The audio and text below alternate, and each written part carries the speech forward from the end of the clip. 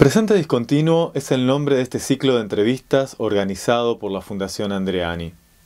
Les proponemos un diálogo desde la filosofía con artistas y referentes de la cultura para reflexionar juntos sobre el universo humano, demasiado post-humano y las mutaciones que nos impone nuestro tiempo. Este primer encuentro es nada menos que con Rafael Spregelburt, insoslayable dramaturgo, actor y director de teatro. La entrevista tuvo lugar en tiempos distintos y de un modo fragmentado. Si lo prefieren, podrán visualizar las preguntas por separado y alterar su orden. Yo les recomiendo que se hagan un café o unos mates y se dejen llevar por el fluir de los pensamientos de Rafael, su mirada irónica e inconformista.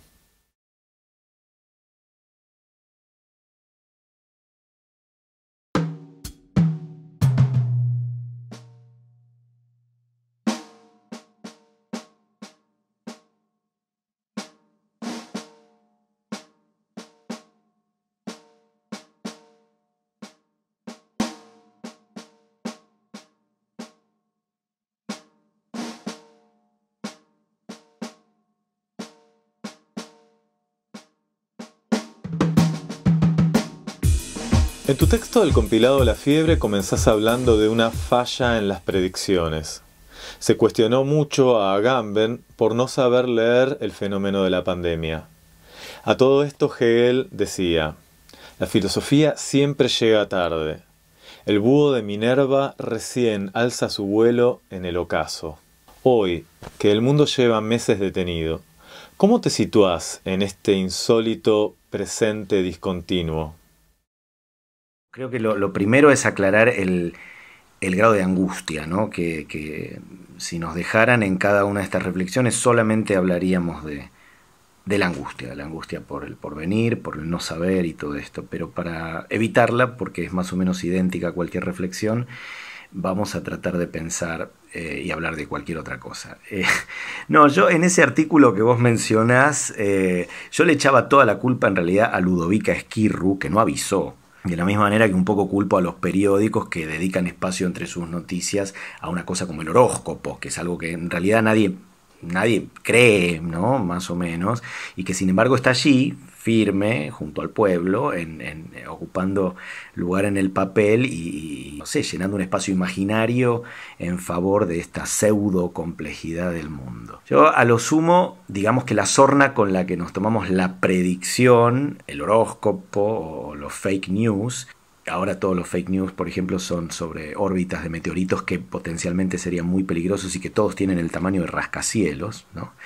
Eh, es más o menos la misma sorna, la misma desconfianza con la que procesamos toda esta información que nos fue llegando, la, presuntamente real y también la evidentemente falsa. Por eso esta angustia además está tamizada de, muchísimas otras cosas, ¿no? de opinión, de, de opinología. Yo, a ver, evidentemente, yendo a tu pregunta, yo creo naturalmente que la filosofía necesita perspectiva, que es imposible para el pensador o el filósofo a hablar de algo de lo que no, se, no, ha tomado ninguna distancia todavía.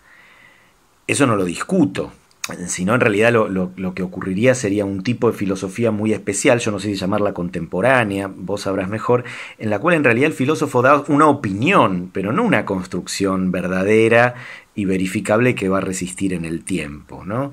Uno puede discutir o no a los filósofos clásicos, pero más o menos de, todos ellos aprende algo. Mientras que con los filósofos contemporáneos es muy gracioso porque los hemos puesto a pelear en una, en, una riña de gallos, a ver quién gana. Esta es mi sensación en todos estos debates y en todas estas escuchas, que, que transitan un poco por el mismo lado que Ludovica Esquirru, o sea, sin mucha brújula, sin mucho norte.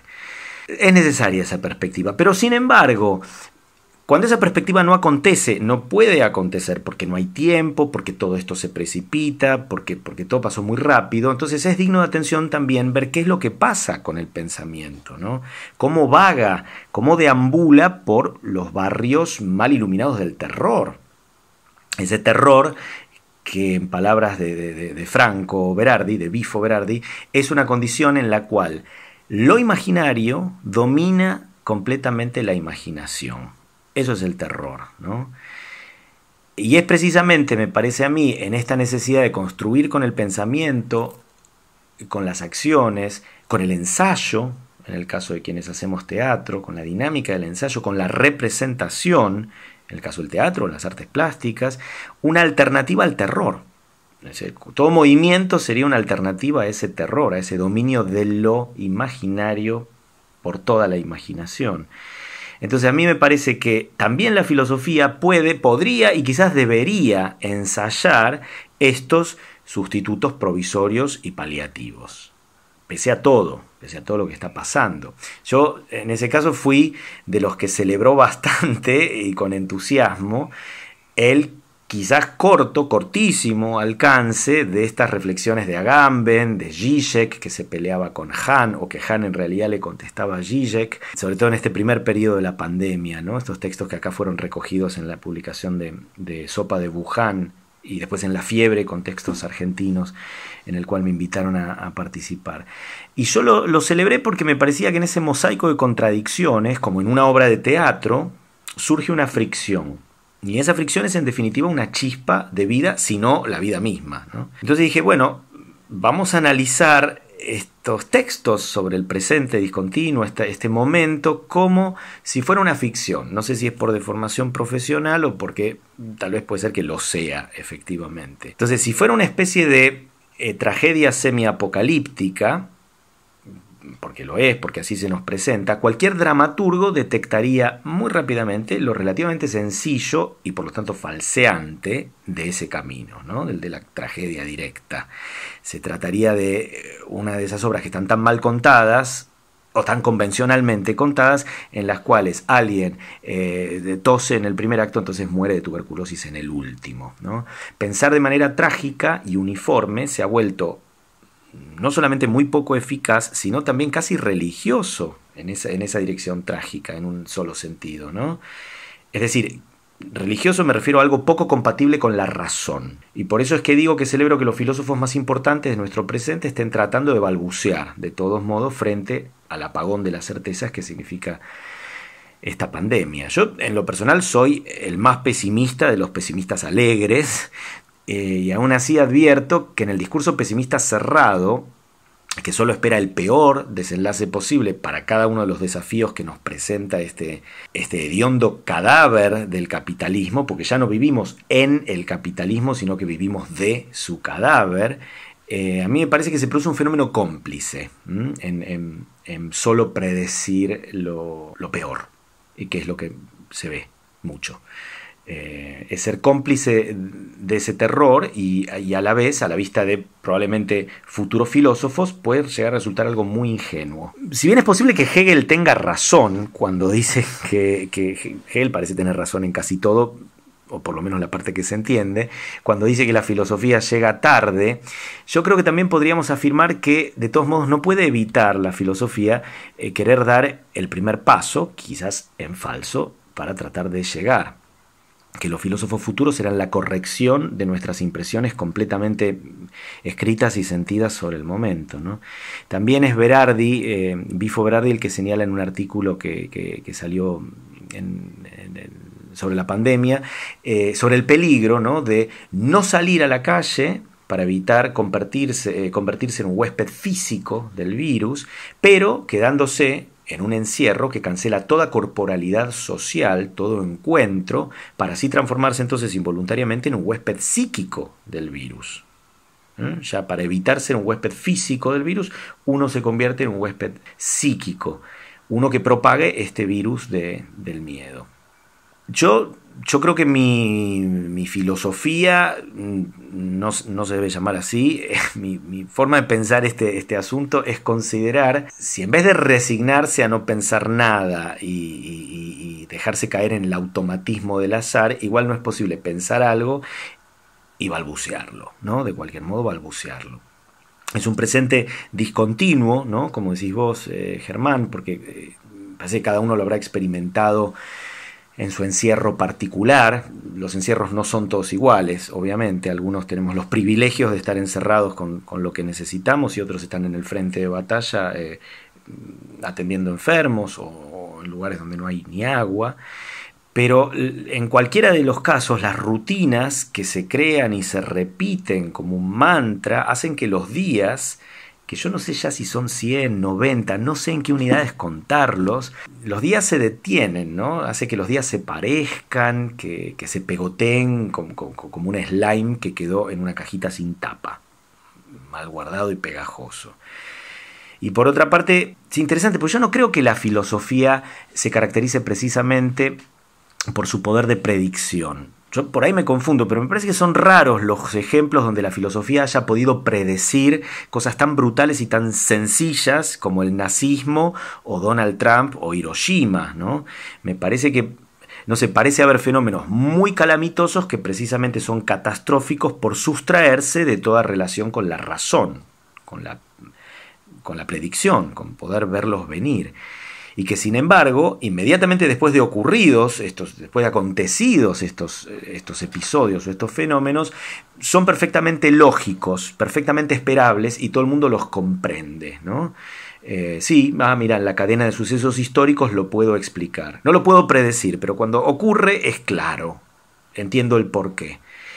Yo creo que es porque los sucesos acontecen eh, más rápido que el pensamiento. Salvo que tengamos o asumamos que podemos tener una racionalidad catastrófica. Esto es un oxímoron, ¿no? porque nuestra racionalidad es por definición trágica. Este es un juego de palabras que, en el que yo baso gran parte de, de, mi teatro. Y cuando doy cursos, de hecho, y tengo que ponerle un título al curso, casi siempre llamo estos temas dramaturgia de la catástrofe. En realidad lo único que pretendo señalar es que el teatro ha estado dominado por una imagen única, una imagen análoga a la de nuestra razón, y esa imagen es la de la tragedia. En la tragedia todos los acontecimientos se desarrollan hacia su final, pero en los sistemas complejos, que a veces llamamos catastróficos, las cosas viajan en todas direcciones. ¿sí? Entonces la razón las ordena hacia su final. Razón es secuenciar causas y efectos. Entonces siempre conduce a, una línea, a una línea recta. Pero en ese ordenamiento, eh, la mente, la percepción, sabe que, hay remanentes de fricciones, de, viajes en marcha atrás, de colisión con sistemas circundantes, ¿no?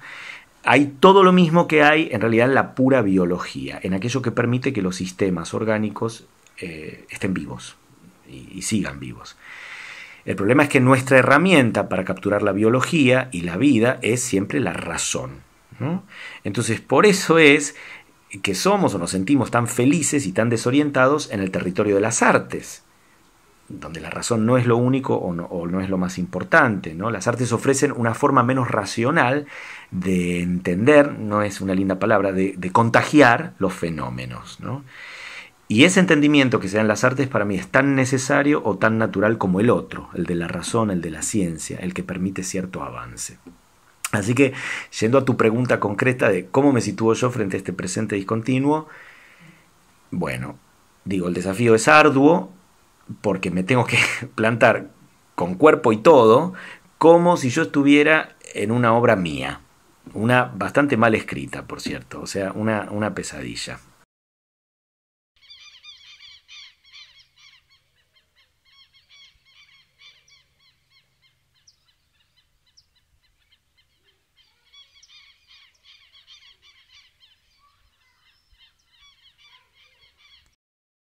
¿El fenómeno teatral acaso potencia ese ahora difuso en el que transcurre la existencia? Me gustaría preguntarte, en tanto dramaturgo y actor, ¿cómo sentís que se llevan tus reflexiones y aportes teóricos sobre el teatro con la experiencia viva, incierta, arriba del escenario? Todo lo que a veces se me dio por pensar de la escritura teatral, Ahora un poco tengo que experimentarlo con el cuerpo, ¿no? Con la familia a cuestas, con la pérdida, con la total incertidumbre. Yo no sé si voy a tener trabajo en los próximos dos años. Nadie me lo puede decir, ¿no? Las especulaciones teóricas acerca de cómo escribir una obra que sea inquietante, que juegue con los elementos de la biología, de lo que está vivo, quiero decir, eh, para mí ya no son tan especulativas. Se pueden sensorializar, ¿no? En este momento. Y encima de manera comunitaria. es común a todos, a todo el planeta. A todo el mundo, con sus matices particulares, les están pasando cosas parecidas. No todos respondemos igual, obviamente, algunos tenemos, como decía antes, privilegios o agua potable, pero todos sabemos que estas premisas nuevas son parecidas para todos. Esto crea una sensación permanente, te diría yo, de reseteo del sistema. ¿no? por lo menos es una sensación. Algo tendrá que ocurrir después de esto. Hay ciertas cosas que ya no nos van a poder vender como normales o naturales. Entonces, hablemos primero del presente difuso en el que estamos y también de lo que ocurre con el tiempo presente durante una obra de teatro. Que me parece que ese es el corazón de tu pregunta, ¿no? Porque en el teatro, durante la representación, los actores asisten en primer término a un transcurrir muy especial. Un transcurrir muy especial del tiempo y un transcurrir muy especial de sí mismos. Yo no sé si lo llamaríamos discontinuo, ¿no? pero el presente de los personajes, que están encarnados por personas, siempre, en el teatro,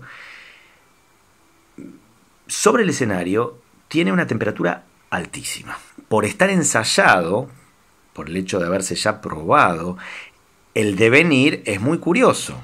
Es de hecho casi estrambótico si uno se lo plantea desde cero y si tuviera que explicárselo a unos alienígenas recién llegados. ¿no? A ver, el actor sabe lo que le va a pasar, de hecho lo tiene ensayado, pero se hace el boludo para ejercitar la sorpresa y para tener el poder de contagiarla. También sabe, con una parte muy activa y muy consciente de su cerebro, cómo está siendo visto y cómo está siendo leído lo que hace, ¿no? sus acciones. Si el público se ríe, si el público se calla, si se va de la sala. Todo esto se filtra además en su presente, en su estar allí. La actuación es, es entonces una, una fuerza mágica que lo subvierte todo. La actuación fue siempre subversiva. Y, por eso se intentó durante tantos siglos someterla a la fuerza de la liturgia reglada, del simulacro, en vez de la ceremonia ritual verdadera que es la actuación. A veces directamente tratando de apoderarse desde, desde, las estructuras religiosas, como en el teatro de toda la Edad Media, y a veces desde otras más invisibles para nosotras, desde el psicologismo, desde, distintas eh, líneas burguesas en el teatro moderno del siglo XIX y de principios del XX. En la representación, yo hablo de actuación, pero me parece que podemos hablar de representación en términos mucho más generales. ¿no? Por ejemplo, también representación en, en, el campo de las artes visuales, para mí tiene funciones muy importantes. Siempre eh, recuerdo cuán revelador fue para mí lo que cuenta Herzog en, la película sobre las cuevas de Chauvet. ¿no? Resulta que ahí se encuentran unas pinturas tan viejas, pero tan viejas, que por algunas señales encontradas alrededor parece ser que son anteriores a la aparición del lenguaje. Es decir, que estos hombres que pintaron estas cavernas no tenían todavía palabras, ¿sí? Pero podían dibujar cosas. Siempre se sostuvo el argumento de que las pinturas rupestres eh, cumplían una función ritual, ¿no? Viste que lo que salía mucho eran el bisonte, el mamut, la comida, ¿no? Como formas de invocarlos en la cacería y tener comida en la mesa familiar de la caverna. Es decir, que siempre se les, se les atribuyó a estas primeras representaciones un carácter utilitario y probablemente algo ineficaz, como nuestra Ludovica Esquirru, pero utilitario al fin. Y sin embargo, de pronto aparecen estas cuevas de Chauvet, que son viejísimas. Vos viste lo, que pintaban ahí, yo lo recuerdo y, se me hiela la sangre. Son unas figuras hermosas, con un realismo, con una línea fina, con un realismo que, que después le llevaría a las artes plásticas siglos en organizarse. Pero además, lo más importante, con una función mágica mucho más inquietante que lo que suponemos de, Altamira o de las manos de las manos pintadas. Para mí, el descubrimiento de una de esas pinturas, que es el, famoso león pájaro, por ejemplo, me parece una revolución en el campo de la antropología. Pintan un león pájaro estos tipos. ¿Por qué? Porque quieren cazar, en vez de un mamut, un león pájaro, que es una cosa que seguramente no hayan visto nunca. ¿Es porque es bello? Entonces por eso lo dibujan. ¿Es porque es una deidad a la que atraer? No, Herzog y sus entrevistados por lo menos dicen que no, que lo que sucede es mucho más simple y es que al no tener lenguaje, al no tener palabras, al no tener nombres separados para cada una de las cosas, no existe la palabra león por un lado y la palabra pájaro por otro. Entonces es posible una articulación, es lícito imaginarlo juntos. La representación invoca lo que se le canta. La representación es puro deseo. Y como no hay palabras, es posible que el león pájaro sea una sola cosa. En cambio, las palabras que vendrían después juzga a la representación, la razona y sobre todo la divide. Articular es dividir. A mí me gusta pensar que en la representación y en la actuación ocurre un poco lo contrario a la articulación, ocurre lo contrario a la división. ¿no? La, la, representación, el presente que sea en la representación, es una conjunción mágica, sacerdotal, de lo que estaba separado en las palabras. Y además lo traemos al mundo real, porque no es virtual la representación del teatro, ocurre ante los ojos y se escinde de las palabras. Obviamente no tiene nada que ver con aquello que estemos diciendo, que digan los personajes. Me refiero a otra cosa, ¿no? Me refiero a que la actuación es incluso mucho más fuerte que el relato. El que el relato puede estar o no estar en el escenario. Y casi siempre está. Pero bueno, hay un teatro postdramático en el que el relato, digamos, se puede prescindir de él, ¿no? Y que para mí es esta esta parte que tiene que ver más estrictamente con el lenguaje es el relato, es la articulación, es lo que tiene que ver con la división, con el conocimiento. La actuación es lo que lo cuestiona.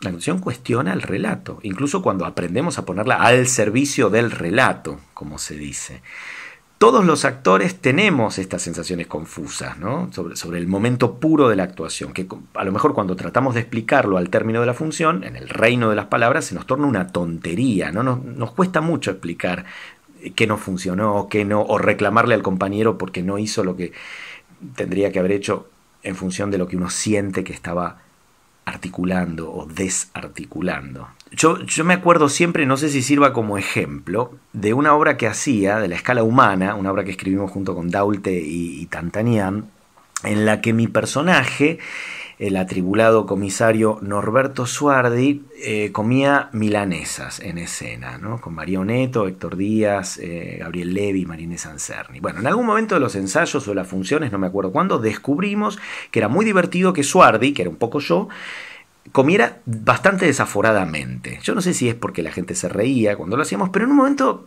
empezamos a creer que había que hacerlo así. Suardi estaba en medio de una tragedia bastante realista y la voracidad al comer esas milanesas reales que, se nos, que olían a milanesa recién frita que se nos ponían sobre la mesa le venía muy bien a la escena, punto. Entonces yo comía en esa escena mucho más que cuando me iba a cenar, mucho más que en una cena común, porque me parecía divertido. Y sin embargo, esas milanesas que yo comía ahí no me saciaban para nada. Cuando salíamos del teatro y nos íbamos a comer, yo volví a cenar. Y muchas veces, debo confesarlo, cenaba milanesas, porque íbamos a cenar a Perlés, al mismo local al que se las pedíamos para la función. Yo descubrí también que lo que comía el personaje en la acción no me engordaba. Yo no puedo explicarlo bien, no tengo pruebas, tampoco hace falta, ¿no? Pero esas milanesas para mí no ocurrían en la vida real. Yo creo que si algo, en algo se caracteriza el tiempo del teatro, es en que anula al tiempo real, lo sustituye, lo subvierte. Incluso en la peor de las representaciones, en la más desafortunada, en la más malograda.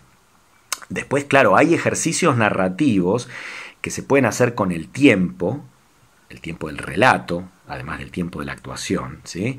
Y yo de hecho los pruebo y mucho estos ejercicios, pero ni siquiera haría falta, no ese es el problema. Ya la sustitución del tiempo lineal de la vida por un tiempo bifurcado en puntos de vista, eh, un sistema planetario múltiple, donde todos los personajes tienen razón, como es el que se da en el teatro, con fricción, con interacción, que es lo que ocurre entre los actores y que puede acelerar o, o retrasar el tiempo, todo esto alcanza para comprender algo sobre cómo vivimos normalmente nuestra sensación de presente, los actores, ¿no? del presente en el escenario y del presente en la vida cuando, cuando nos bajamos de la función.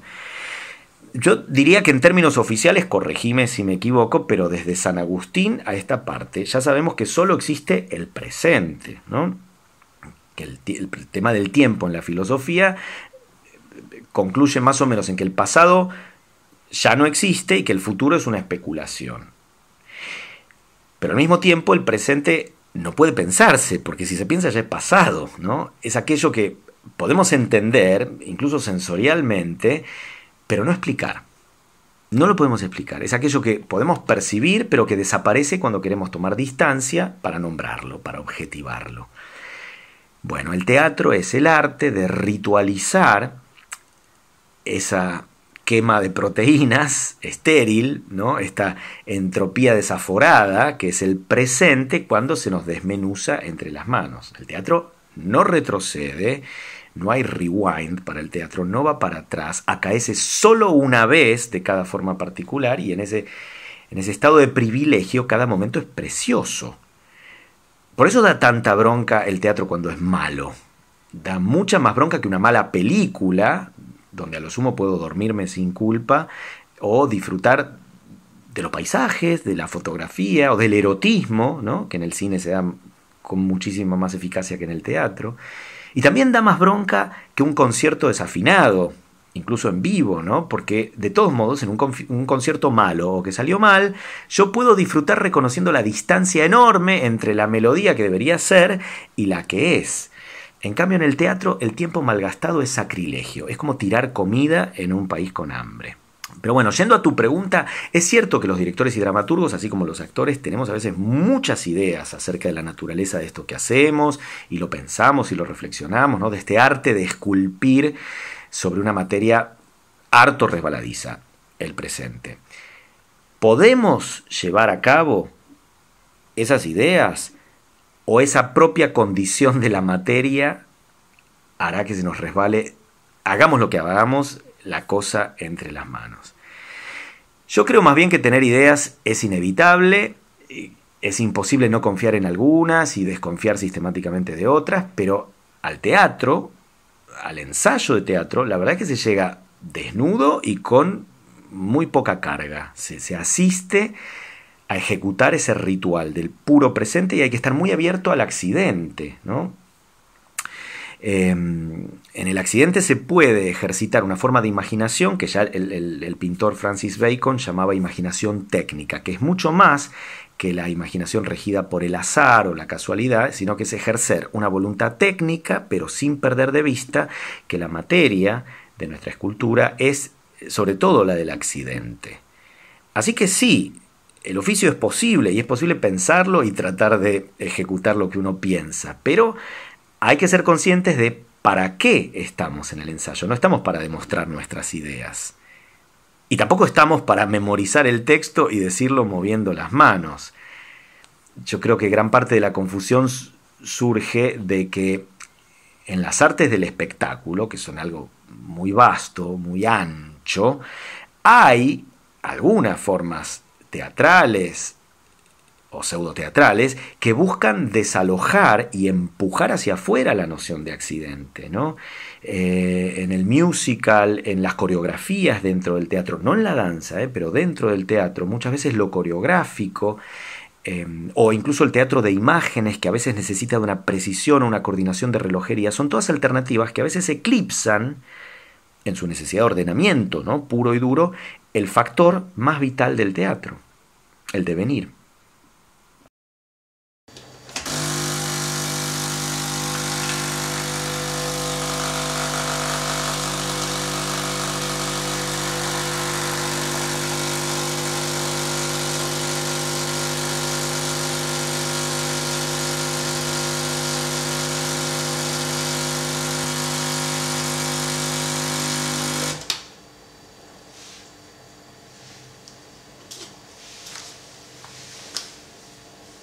En muchas de tus obras parece advertirse una búsqueda de instalar al espectador en cierta indeterminación temporal, como una apuesta contra el tiempo lineal de las narrativas tradicionales. La vivencia radical de la cuarentena, ¿le quita frescura a ese recurso o convoca a profundizarlo? Eh, sí, o sea, vos lo que querés saber es si la, pandemia está compitiendo conmigo, ¿no? Eh, bueno, eh, aquí se abre, me parece a mí, otra cuestión del teatro en la que supongo que yo tengo parte de la culpa. Muchas veces afirmamos que el teatro busca establecer algún tipo de relación con lo real, con la realidad. Algunos dicen, por ejemplo, que el teatro dialoga con la realidad, sin aclarar mucho cómo es ese diálogo. Otros dicen eh, que no, que el teatro explica la realidad de manera más profunda, por eso puede predecir acontecimientos o ser duradero en el tiempo. Otros dicen que, que, no, que el teatro aporta ejemplos de la realidad. Otros, en la vereda opuesta, dicen que el teatro simplemente agrega cosas a la realidad son todas argucias eh, un poco incontestables, ¿no? Y yo creo que todos tienen razón, pero yo en general creo, en general, que todos tienen razón. Yo me he conformado con asumir que el teatro y la realidad tienen eh, alguna estrecha relación, pero que esa relación es innombrable. Entonces prefiero más modestamente conformarme con asumir que el teatro es una ilusión, que comparte aspectos técnicos con la realidad y que compite con sus estructuras biológicas, o sea, quiere imitarlas. Mira, muchas veces decimos de una buena, de una buena actuación que es orgánica. Ah, mira qué orgánico, cómo respondió a tal estímulo de impresión. Bueno, orgánica es una, es una palabra con la que yo me he encariñado y me gusta, porque tiene que ver con los órganos, ¿no?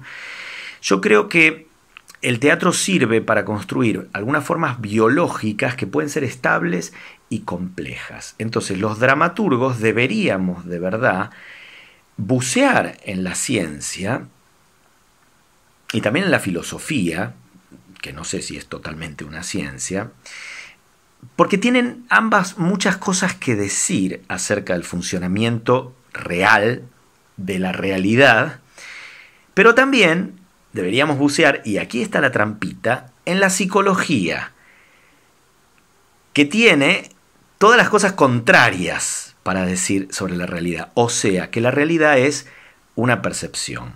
Entonces, en esa búsqueda contradictoria, real, percepción, una búsqueda como en el caso de todos los artistas, me parece que con, con una brújula errante, yo creo que acabé por encontrar provisoriamente una cantera inagotable en la biología, en la física, en la química. Y descubrí, como un lector periférico que soy de estos materiales, porque no, no soy científico y no los entiendo, que en el corazón de las ciencias, hace ya mucho más de medio siglo, estalló una bomba imparable. ¿no? El mundo ya no es newtoniano, pero nuestra percepción de él tiende a seguir siéndolo. Nosotros llevamos un retraso notable respecto de lo complejo del encadenamiento de los sistemas vivos y la verdad es que nos apegamos a ese retraso porque este retraso implica algunas explicaciones que sí podemos entender, las otras son muy difíciles. Es decir, las propiedades del triángulo, del cuadrado, de toda la geometría euclidiana, así como la, la gravedad newtoniana o la electricidad, son simplificaciones y abstracciones que la relación aplica, eh, calca mal encima de todas las demás cosas para regularizar la irregularidad del mundo. Pero el mundo es irregular y no siempre funciona de acuerdo a estos modelos abstractos e ideales. Lo que pasa en la ciencia es que desde el descubrimiento de las hipercomputadoras y de la geometría fractal, sobre todo, y, de, bueno, de todo el auge de las físicas contemporáneas, que son muchas y, y muy contradictorias, y muchas de ellas están realmente al borde de la fe, podemos esbozar modelos inquietantes de sistemas biológicos vivos sobre el escenario. Yo creo, como dice Mandelbrot, que la irregularidad es excitante. Entonces tiendo a no regularizar. Así que yo suelo experimentar mucho con tiempos no lineales, por ejemplo, yendo a tu pregunta, pero, pero no como una moda estilística o como un sello de autor o una originalidad. Es más bien una manera de experimentar mi sensación perceptiva de este presente, que no es el presente de Newton con su imaginario de manzana roja que cae en su cabeza. Lo triste es que el mío es un ambiente hostil, lleno de New Age, ¿no? de falsos modeladores de complejidad, de, diseño, un poco como en la serie alemana Dark, que ahora estoy viendo en la, en la cuarentena, donde me parece a mí que por meterse con asuntos demasiado complejos, pero en formato Netflix, eh, todas las explicaciones suenan un poco inverosímiles, ¿no? Y remanidas, y sobre todo solemnes, como si no fuera posible pensar con humor. Y además todas estas reflexiones están puestas como en primer plano. Entonces se construye una especie de tema de moda, ¿no? En esta serie. Es muy curioso, eh, yo la estoy mirando, eh, por otra parte, no, no hay nada de malo en ello. Me, me parece que no aparece la otredad en ese sistema de apariencia interesante, ¿no? de pátina de ciencia. O sea, tematiza, tematiza la complejidad. Para mí no se trata de eso, no se trata nunca de eso. Se trata de asumir que el tiempo, sobre todo el tiempo, así como los sentimientos también, pero el tiempo, eh, eh, el tiempo y los sentimientos son los objetos de estudio y de análisis en el campo teatral. Es como un microscopio que va a mostrar cómo funciona eso. Es un estudio además que no tiene por qué ofrecer respuestas conclusivas o por lo tanto respuestas asimilables en el complejo de certezas que es el lenguaje compartido de una comunidad de sentido. En el año 78, mientras Kempes levantaba una copa, Pinter escribe Traición, ¿no? Que es una obra ya canónica, por otra parte. Cuenta un relato que, si se quiere, es bastante decadente y bastante vulgar, que es la infidelidad en una pareja de clase media alta, en un mundo de editores, etcétera, etcétera. Y construye un relato que podría tener el mismo interés que una mala telenovela. Alguien le mete los cuernos a, su marido. Pero a Pinter se le ocurre o siente la necesidad de contarlo de atrás para adelante la, primera escena es la última cronológicamente y la primera cronológicamente ocurrirá al final. Lo cuenta atrás para adelante y ocurre la magia. Todo es desesperante, a todo se llega tarde, reina la incertidumbre, porque causas y efectos están invertidos, uno está antes que el otro, entonces el cerebro entra en una crisis enorme. Y ahí, donde estas relaciones llanas, y algo aburguesadas, que podrían ser muy aburridas, de pronto empiezan a mostrar su verdadera complejidad, porque en la vida real la tendrían, y es enorme.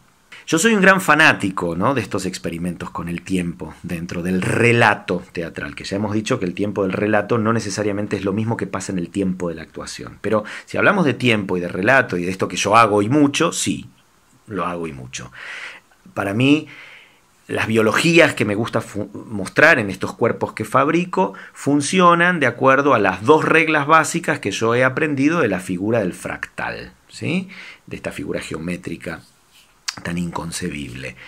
La primera regla física es presentan infinito detalle, es decir, que siempre siguen abriendo y abriendo, incluso mucho más allá de lo soportable para, para el cerebro humano, y por eso duran mucho mis obras. Infinito detalle. Y dos, la otra característica del fractal es que el fractal presenta autosimilitud en distintas escalas. Es decir, que pese a lo improbable y lo impensable de cada nuevo infinito detalle, cada nueva aparición formal, algo en la repetición de estas formas es coherente y consistente con el sistema total. Las cosas empiezan a repetir, solo que yo no sé cuándo, ni cómo, ni dónde.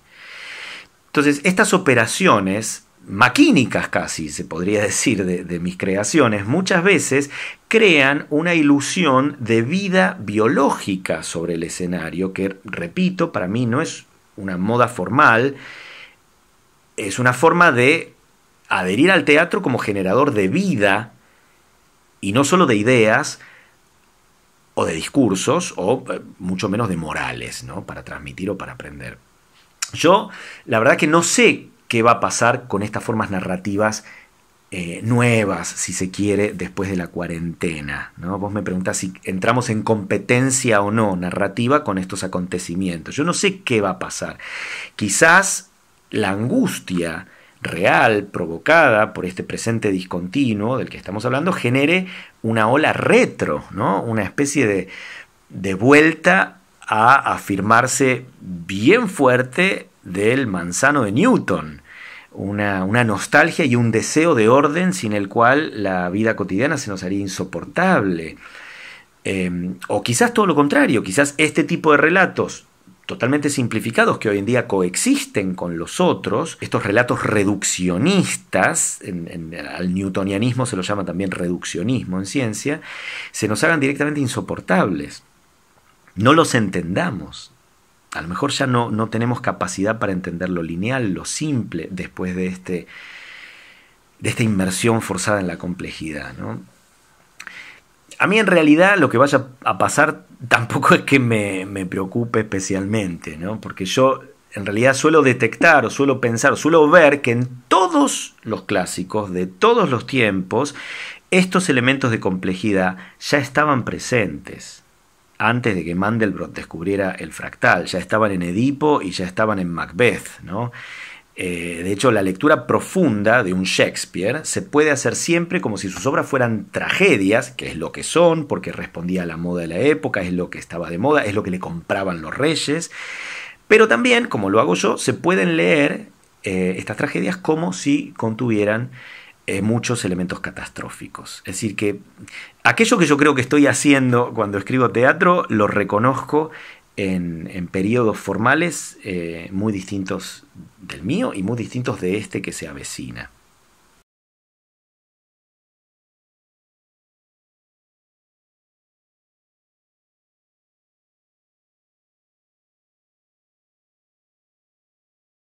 En un pasaje hablas de este estar sumidos en todas las formas de entretenimiento, de este estar entre, y luego agregás, hemos crucificado el aburrimiento. Me recordó una frase que se repite en el Zaratustra sobre el último hombre, hemos inventado la felicidad.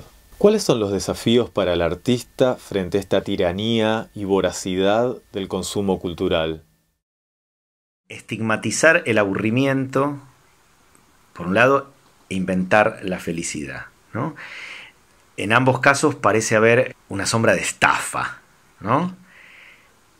Prohibir lo que ocurrirá de todos modos, el aburrimiento, y negarle entidad, por un lado, y después presentar a la felicidad como invención, como algo artificial, y no como un elemento inevitable de la naturaleza. Yo, creo que es una comparación eh, por lo menos estimulante. Sobre todo si se quiere pensar que nosotros somos algo así como productores de cultura, ¿no? Vos hablabas de esta voracidad del consumo cultural, es decir, si se nos piensa como fabricantes de algo para saciar ese consumo cultural, que por otra parte aprecia tanto la novedad como lo regurgitado, sobre todo lo regurgitado, ¿no? Y que exige siempre lo nuevo, pero lamentablemente lo quiere con una forma que pueda ser entendido desde los parámetros de lo ya aprendido. Consumo cultural. Yo creo que lo más complicado de esta pregunta es pensar de una vez y para siempre eh, quién es el verdadero artista, ¿no? Es aquel que produce mercancías bellas, de una belleza acordada y comercializable, o por el contrario, es el que dispara en la dirección desconocida y no espera recibir retribución alguna de parte de sus contemporáneos y que apuesta al futuro, como Van Gogh, eh, esperando... Bueno, Van Gogh no sé qué esperaba, parece que no estaba muy bien. Es, eh, yo, es otra vez la vieja dicotomía ya planteada eh, con muchísima lucidez allá por los años 60 por, por Luis Felipe Noé en, en, su fabuloso libro La antiestética, ¿no? que yo creo que ha, ha gravitado sobre el imaginario de muchos maestros y muchos artistas en este país. El verdadero artista es como un aprendiz de brujo, ¿no? de chamán, y el falso artista es el que lo sustituye en la vida cotidiana. es el que gana los premios y la aprobación y el que satisface módicamente al mercado con esos productos que el mercado está, está buscando. El problema es que esta definición se ha complejizado mucho en los últimos años, porque de la no mercantilización del artista como, como objetivo, han surgido algunos fuertes eh, movimientos conceptuales que directamente desplazaron la relación entre creación y producción de insumos hacia sitios insospechados, ¿no? Es la banana pegada con cinta adhesiva en la pared de un museo y comprada en una fortuna por el propio autor que tiene la plata para hacer subir su precio y validar un discurso. La obra es el discurso. ¿Cuánto vale esta banana que se va a pudrir pegada a la pared del museo? Lo efímero no es atrapable, pero igual cotiza en el mercado. Entonces, ¿cómo nos sentimos frente a esta nueva sustitución del verdadero artista que se da a veces, a veces en el arte conceptual? Yo creo que esta relación entre artista y mercado no es nueva ni es casual. Eduardo Lestal señala como una coincidencia nada inocente que los grandes museos del mundo hayan históricamente hayan aparecido en regiones como Flandes de manera sincronizada con los estados que empezaron a acuñar moneda, con los bancos, es decir, eh, eh, acuñación de moneda, por un lado, valor simbólico, no sea el oro, sino la representación de esa riqueza, y acumulación de obras de arte en los museos, en las coronas, en los estados, en las cortes, por el otro. El banco y el museo surgen, son dos caras de una misma moneda, de un mismo fenómeno de evaluación y de apreciación, simultáneo y muy duradero, muy, probablemente hasta nuestros días y los que, y los que vengan. El arte contemporáneo está muy muy atrapado en esta dicotomía, porque la pelea sale a torearla, ¿no? Entonces, por eso, mucha gente a veces gasta todos sus cartuchos solo en denunciar esa alianza satánica entre creación y precio. Afortunadamente el teatro, creo yo, que es bastante inmaterial, siempre ha estado en un lugar moral privilegiado respecto de otras artes más elitistas. El teatro no es objetual, ¿no? No construye un objeto carísimo que alguien pueda poseer y acuñar y guardar y encerrar en un museo para mostrar después. No. No, difícilmente el teatro logre una mercancía, sino que logra un acontecimiento, o eso es lo que se propone. Por eso está siempre más cerca de lo humano que del mercado claro que, por supuesto que sí existe un llamado teatro comercial que está armado, pensado para un consumo masivo, que es más sencillo, más fácil en sus propuestas, qué sé yo, más llevadero, más optimista o más a la moda. No, no sé, pues yo no lo veo, pero no sé cómo será. Pero nadie, me parece que ni siquiera sus ejecutores y sus productores o sus directores, en muchos casos, le adjudican un verdadero valor artístico, ¿no? Y si me preguntas a mí, yo lo he visto siempre como una cosa bastante inofensiva, que yo no consumo, pero que sí a veces consumen los espectadores, que luego a lo mejor desembocarán en mi sala, con una cantidad de preceptos aprendidos de esa experiencia acerca de lo que está bien y lo que está mal, que bueno, yo no sé, habrá que taladrar un poco con la propia obra que yo les voy a mostrar. Es arduo, la verdad que no dan ganas. A mí no me gusta hacer todo ese trabajo, ¿no? De desdecir un acontecimiento sencillo para instalar otro. No me gusta a mí señalarle eh, que mi teatro es más artístico eh, porque hace esto o hace lo otro.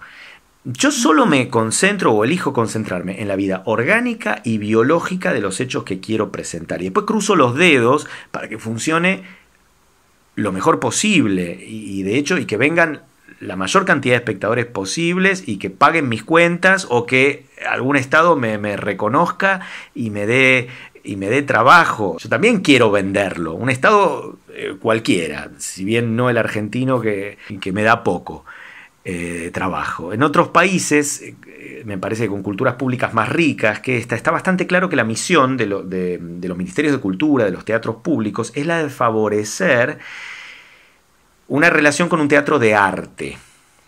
solo con un teatro de arte, es decir, se pone a la vanguardia como objetivo. Aquí, lamentablemente, no hay muchos recursos, sobre todo si consideramos lo poco federal que es este país, el poco movimiento que hay entre las provincias. No hay muchos recursos, todo aparece mucho más confundido. ¿no? Entonces, es bien posible que los teatros públicos de aquí se piensen más bien con una función didáctica, una función más didáctica que artística, y que entonces este consumo cultural que, ocurre aquí como modelar eh, tenga otras, otra agenda, ¿no? Eh, regida por el, por el teatro público. No sé, como si tuvieran que proveernos de una canasta mínima de eh, productos teatrales imprescindibles. De todas maneras, yo creo que la incidencia del teatro público sobre el teatro independiente en nuestro país es ínfima. El teatro independiente sigue haciendo lo que quiere o lo que puede. Es decir, que para mí, por el lado del consumo, el teatro comercial, no, ni por el del teatro público, que es el que podría tener por política favorecer las vanguardias y lo artístico y que tal vez no siempre lo haga, no hay una brújula muy clara entre estos dos, ¿no? Porque acá, eh, en mi entorno, por lo pronto, el teatro florece como unos yuyos en los márgenes de estas dos franjas, lo comercial abiertamente y lo estatal, lo público. Teatro mal llamado independiente, porque no lo es, depende de miles de factores. Yo en un artículo reciente señalo la caída definitiva con esto, de este teatro que supimos esgrimir como modélico, como artístico, en una nueva sección, una nueva franja que sería la del teatro marginal. No somos ya independientes, somos marginales. Las salas están cerrando, además, no sabemos con qué nos vamos a encontrar cuando salgamos de esto. Si el precio que hay que pagar para ser artístico es caer definitivamente en la marginalidad, no sé, quizás sea hora de relativizar, no digo de anular, pero de relativizar un poco el valor intrínseco de la palabra artista. A lo mejor es una palabra que no, no pertenece a nuestra época, eh, lamentablemente, porque idealizamos el mundo de los artistas. Está muy idealizado. Eduardo del Estal señala eh, en, uno de sus textos que a mí más me gustan, Las Edades de la Mirada, que una de las esferas de la representación en la que vivimos, sobre todo ahora, una esfera a la que él llama la videosfera o la edad de lo visuátil, quizás el arte ya haya muerto por autorreferencialidad y esté dando paso a otras expresiones igualmente humanas, no artísticas, pero igualmente humanas, como lo que ocurre, por ejemplo, en la idolatría, la presentación del objeto al que se idolatra, o en el mero diseño, la presentación del objeto que ofrece placer.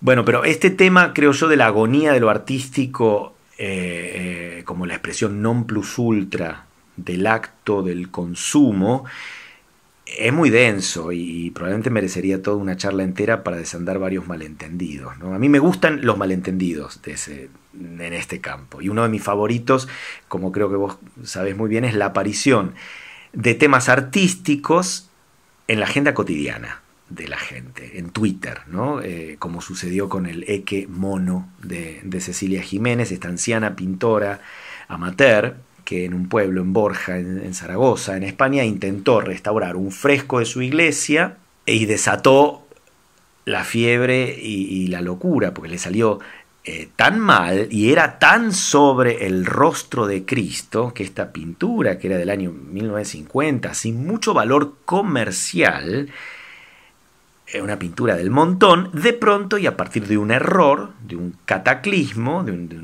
una broma, comenzó a generar unos valores determinados. Y no me refiero solo a lo, que pagaba la gente para entrar a ver en la, capilla el, mamarracho, ¿no? pero hordas de turistas que de pronto eh, se acercaron al pueblo de Borja. Hubo merchandising, imitadores, eh, memes, tazas, remeras. Entonces yo me he preguntado siempre muy honestamente, en función de este episodio, ¿cuál de las dos pinturas tiene estrictamente más valor?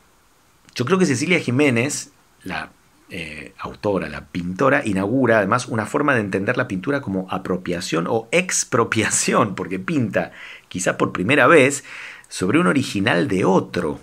Entonces, y ahora reclama autoría sobre esa imagen expropiada y demanda a quienes hacen tazas o remeras con su eh, imagen. Es, es delirante, es hermoso, pero hay algo más.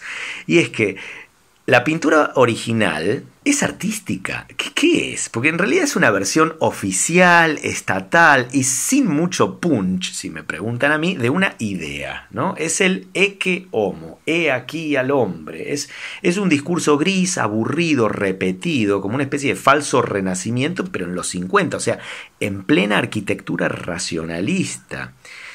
En cambio, en el acto del año 2012 del rescate de Cecilia Jiménez, hay amor. ¿Por qué lo hace ella? Por amor. Ella ve con dolor cómo se deteriora la pintura de su querida parroquia y se ofrece a salvarla. Hay un acto de amor y también, sobre todo, hay un acto conservador. Ella es conservadora, no es vanguardista. Ella no quiere hacer arte moderno ni quiere poner en jaque a las categorías preexistentes. Y sin embargo, en el cruce de todas estas buenas intenciones, amor, arte, conservadurismo, produce el hallazgo, el accidente, el, hecatombe, ¿no? Entonces, ¿quién dice realmente cuál de estas dos grafías es más poderosa? ¿Cuál tiene más impacto? ¿Cuál resume mejor este complejo de emociones que se da en el arte. Pues encima vengo yo y escribo una obra sobre este episodio, una obra que se llama El fin del arte, y trato de vendérsela a varios festivales del mundo, y lo peor es que lo consigo y que la obra me encanta y que es hermosa y que me va muy bien, o más o menos bien. Arte y valor, arte y consumo es la dicotomía eterna que lejos de tranquilizarnos nos, nos mantiene en movimiento.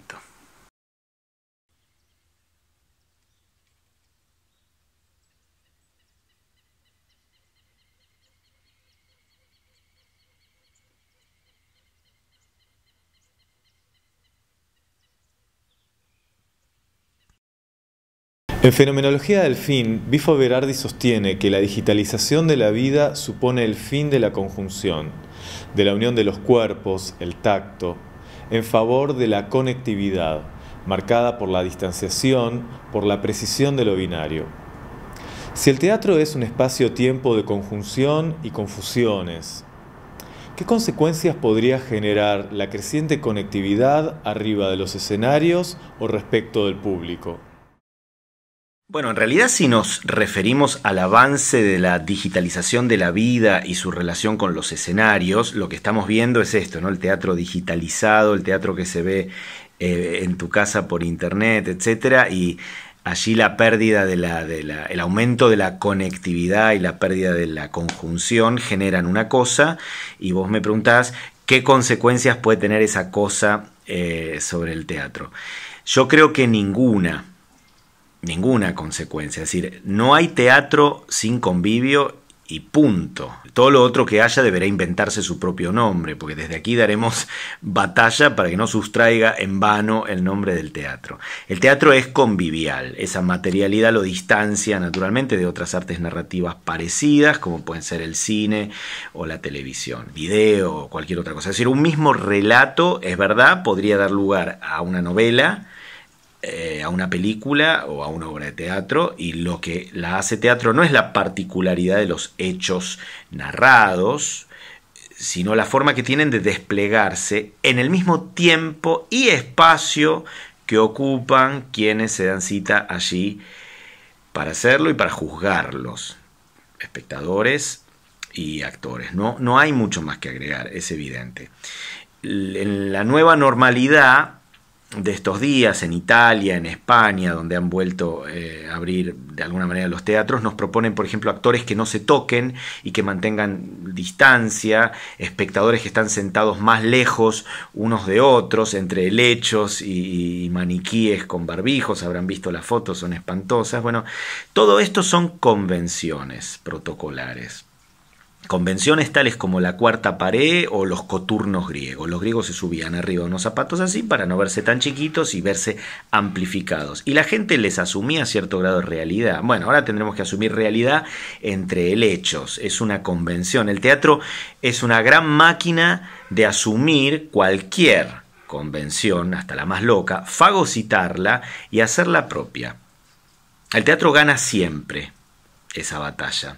Pero la única convención prohibida es la que anularía el convivio. ¿no? Eso que, surja puede ser un buen material audiovisual o teatro filmado que te puede proporcionar mucho placer porque es una obra que te perdiste y que si no no podrías ver. Estás viendo un registro de la experiencia pero no la experiencia. Lo podríamos llamar teatro documentado en píxeles, como quieran llamarlo. Pero su materialidad va a operar de manera distinta. No estás allí para juzgar o intervenir sobre el material, sino que estás allí para juzgarlo a posteriori.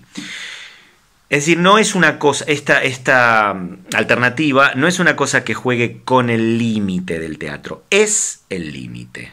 ¿Sí? Decía antes, es la convención prohibida. Por otra parte, haciendo todo esto a un lado, no está mal que existan cosas por fuera del límite. Si bien el límite lo hemos puesto todos los que creemos en él. Fíjate que la danza, por ejemplo, también es convivial, estrictamente convivial, y de pronto un día aparece en Wuppertal Pina Bausch, inventa la videodanza y, la verdad que no le va tan mal, ¿no? No es convivial, es otra cosa. Pina Bausch utiliza los talentos de los bailarines, de los coreógrafos y además los talentos de los cineastas que ponen la cámara, el montaje, el ritmo y construye otra cosa que está fuera del límite conocido y lo impone y funciona.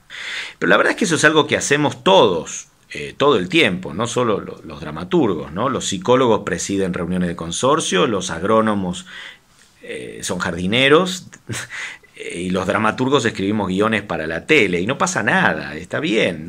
Yo creo que podemos ensayar cosas parecidas a las que queremos hacer sobre todo las que volveremos a hacer. Trabajar fuera del límite no, no, no, no está mal para mí. Yo no conozco los textos de, de, de Les, de Guattari y de, y de Berardi sobre conjunción y, conectividad, ¿no? Poniendo una a la otra. Pero escuchándote pensaba algo muy interesante que surge, eh, además de la lectura del prólogo de, eh, Fenomenología del Fin, de, Bifo Berardi, y que es una sensación que yo suelo tener muy clara y, y corpóreamente, sobre todo cuando estoy ensayando. En teatro, nuestra conjunción técnica no es tanto el y, sino el mientras. Eh, vos no sabes la vitalidad que cobra una escena cuando la estás ensayando, cuando uno no piensa solo en pasa esto y pasa esto otro, me relaciono con el y, sumo, sino que pasa esto mientras pasa esto otro. El mientras es una forma más sofisticada del y que necesita de la interacción y de la presencia, obviamente. Yo creo que, no sé, es probable que el, problema de la pérdida del I y de la conjunción en favor de la conectividad y luego en favor de la hiperconectividad se manifieste en más de una analogía, en más de una disciplina en este presente.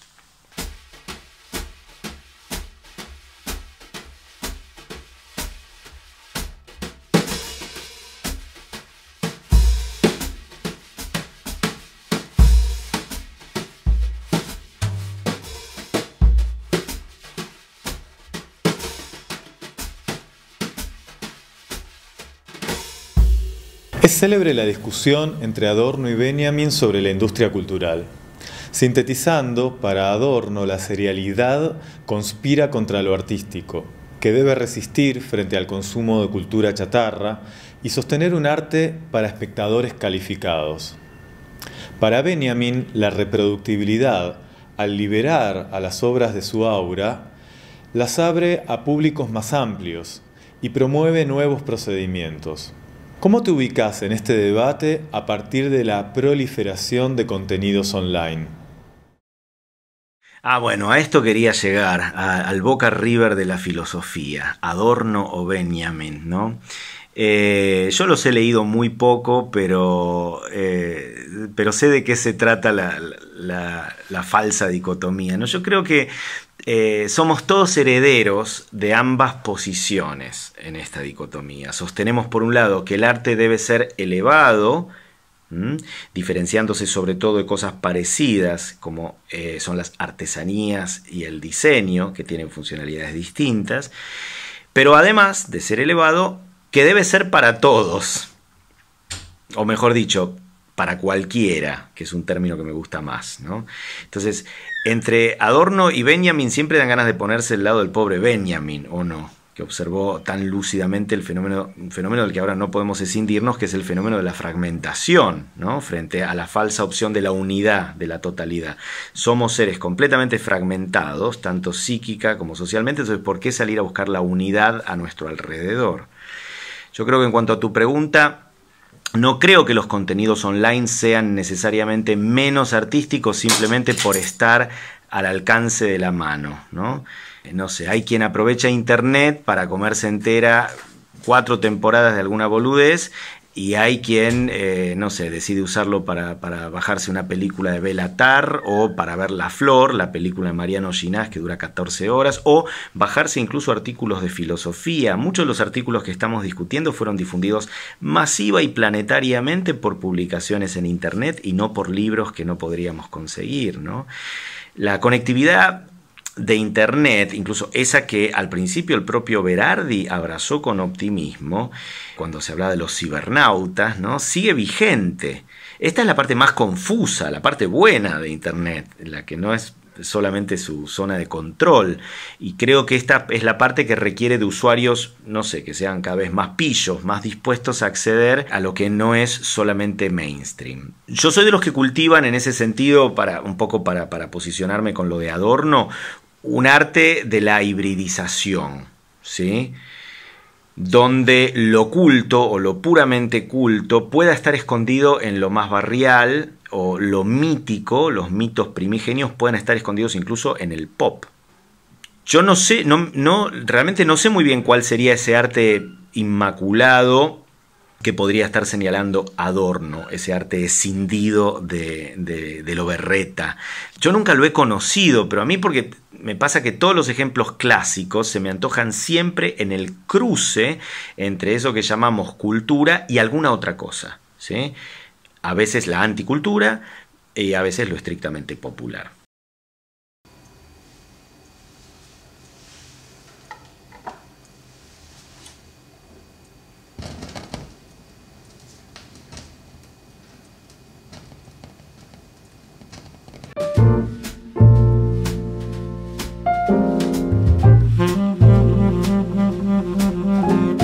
Texto más técnico, referís los procedimientos conscientes o no al momento de crear.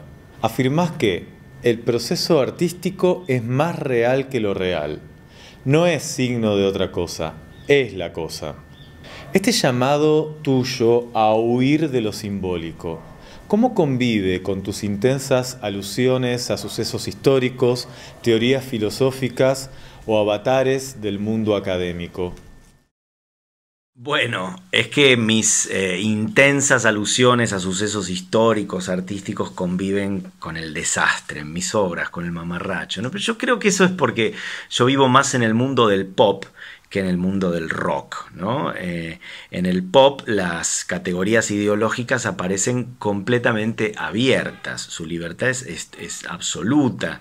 En el rock, en cambio, que es completamente cuadrado, te prometen una ideología fuerte y decisiva, pero la verdad que tiene una etiqueta de comercialización a la orden del día y bien a la vista. En realidad yo creo que lo interesante es esta cuestión de realidad versus símbolo. ¿sí? El eslogan que rige casi toda mi producción reciente es otra vez una frase de Eduardo del Estal que reza lo siguiente. La realidad es la resistencia de las cosas a todo orden simbólico. La realidad es la resistencia de las cosas a todo orden simbólico, es decir, la resistencia de las cosas a lo que decimos de ellas, al lenguaje que, que intenta atraparlas. Entonces ya sabemos que apresar la realidad es bastante difícil, ya que la realidad es una percepción, ¿sí? es una versión, entre otras. Y además sabemos que su dominio está gobernado por el lenguaje, que es esa membrana que nos comunica con la realidad, pero que también nos separa de ella, así como la palabra dolor nos separa de la experiencia del dolor real. Nos, nos, permite comunicarlo sin sentirlo para nada. Puedo decir, ay, me duele, y la palabra exorciza el dolor real. Si me doliera mucho, quizás no diría nada. Entonces, de esta definición de Delestal, a mí me encanta la idea paranoica de que la realidad existe fuera de nosotros y que tiene una actitud militante. ¿no? La resistencia de las cosas a lo que decimos de ellas. La realidad desea huir de lo que decimos de ella. No quiere ajustarse a los símbolos, las metáforas que la cultura convierte en alegorías tarde o temprano, con la que nosotros queremos atrapar y, eh, y dominar a la realidad. La realidad es catastrófica, es caprichosa, es berreta. Así que yo te diría que la convivencia de, raras o elevadas teorías filosóficas o de pesquisas de cierta nobleza en el corazón de mis obras ocurre perfectamente bien, convive perfectamente en sintonía con el mamarracho y la falta de solemnidad. Porque para mí se trata de eso, simplemente. ¿no? la solemnidad no es la seriedad en el arte. La solemnidad es la incapacidad de generar otra mirada distinta sobre sí mismo. Es la mirada que ya contiene las instrucciones para la mirada, eso es lo solemne, lo que admite una sola mirada. El acto escolar es solemne. ¿No? Nosotros qué vemos todo el tiempo en el acto escolar? Vemos la escarapela de cartulina, el fracaso de la gesta belgraniana, la dependencia y la repetición ritualizada, pero el discurso que escuchamos en el acto escolar tiende a querer escindirse de lo que vemos, los chicos haciendo quilombo, hablando del acto escolar, se acaba de hacer viral el, el, video de una maestra que está tratando de grabar su texto para el acto virtual del 20 de junio, por primera vez en su vida seguramente le toca hacerlo de manera virtual, y le ladran unos perros, eh, es una maravilla, es una maravilla. No es artístico, ¿eh? Pero ¿qué importa? Es decir, son esas cosas que ocurren y que tensan el arco de la mirada para después posarla así sobre lo artístico. Yo creo que no hay que perder de vista el peligro de la solemnidad y que hay que aprender a torearlo y que toda técnica, en mi caso, surge de esa preocupación.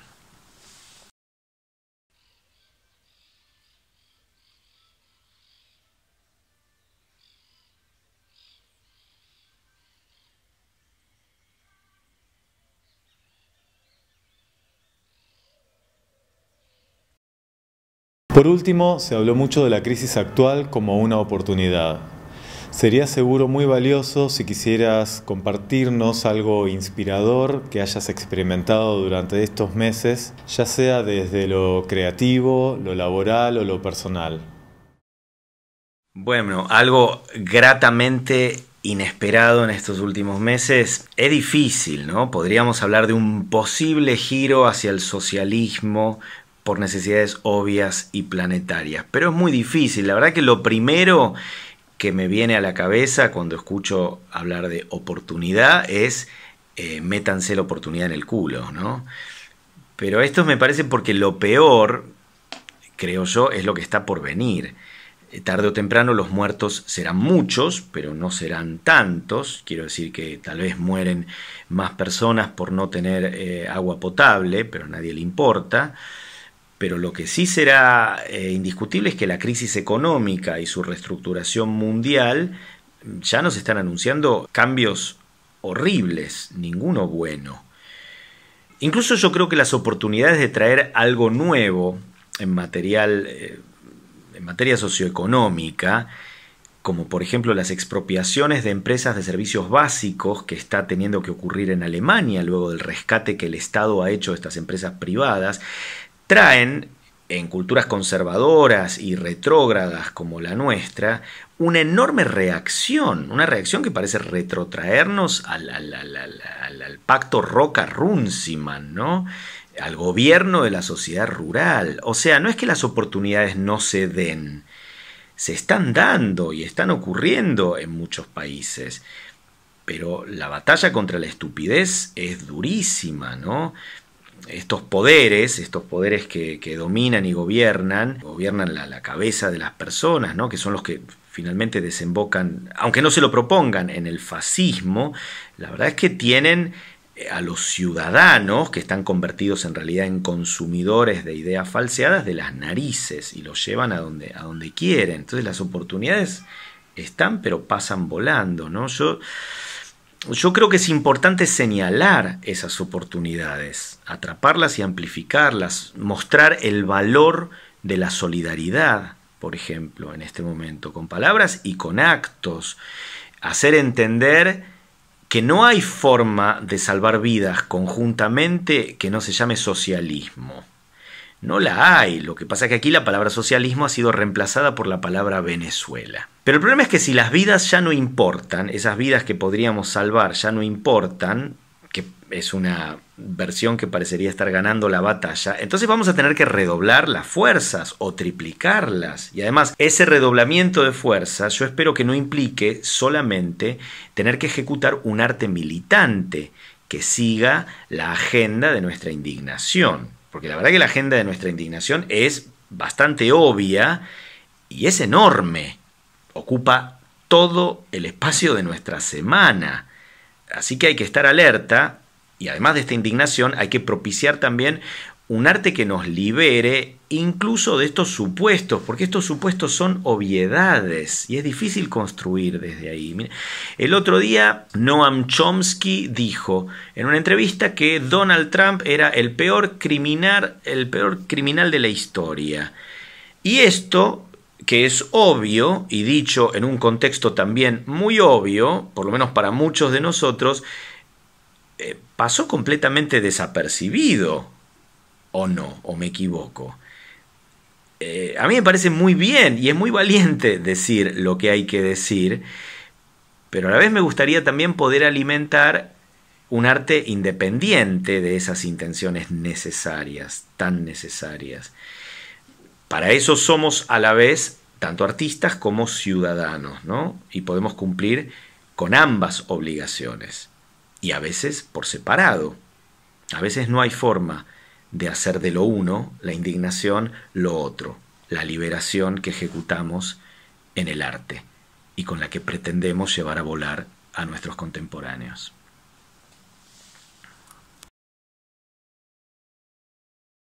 Muchas gracias Rafael por la generosidad y lucidez de tus respuestas. Y a los que están del otro lado, Ojalá que hayan disfrutado como yo de este intercambio. Nos vemos en el próximo envío de Presente Discontinuo.